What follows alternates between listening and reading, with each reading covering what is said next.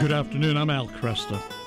American conductor Sir Gilbert Levine has led a distinguished international career, conducting great orchestras worldwide and making some history along the way, too. In February of 1988, Sir Gilbert was summoned to the Vatican, where he met at the palace there with Pope John Paul II, who was 67 years old, and they took up with conversation, during which time Sir Gilbert Levine had the chutzpah to tell uh, Pope John Paul II that he believed God put him on this earth to make things better between Catholics and the Jewish people. Tell me about that first meeting with uh, Pope John Paul II. Well, it's important to understand that I, like everyone else, expected that I would have nothing to say. In fact, I was told by a member of the American diplomatic community that I shouldn't prepare anything to say because there wouldn't be a time to say anything. that I should just have my picture taken with the Pope and have a wonderful memory for myself and my grandchildren. Mm-hmm.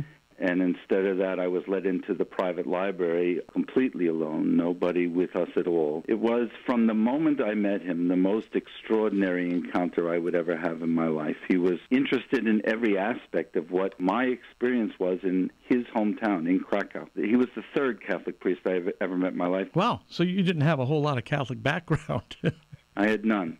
I had none. I was raised in the Jewish community, but my family did come from Poland, and it, I think that connection was deeply important for the Pope. That yeah. my family had left Poland uh, in, in at the turn of the 19th to the 20th century, and that I had chosen to go back when most people were trying desperately to get out of Poland because of communism. But I felt that it was the only time I would ever be with him. I was astonished that I was with him at all, and I felt that about what he could mean for the bringing together of these two great faiths. After I said that sentence to him, which really was nothing but chutzpah, it was incredible that I said that he was silent, just looked down in deep thought. After minutes of this silence where I had thought I had said the stupidest imaginable thing, he summoned people to the private library, and people came in, including my wife, who looked at us as if to say, "What happened?"